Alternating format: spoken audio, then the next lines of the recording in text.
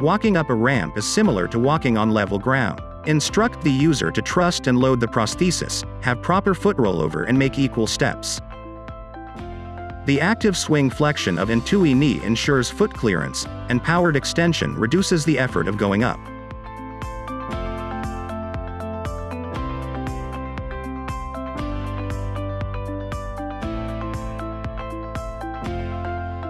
To descend a ramp, the same yielding technique of descending stairs can be applied.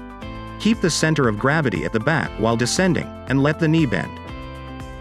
Trust and load the knee, and feel the resistance. Make equal steps. Practice more until the user is confident.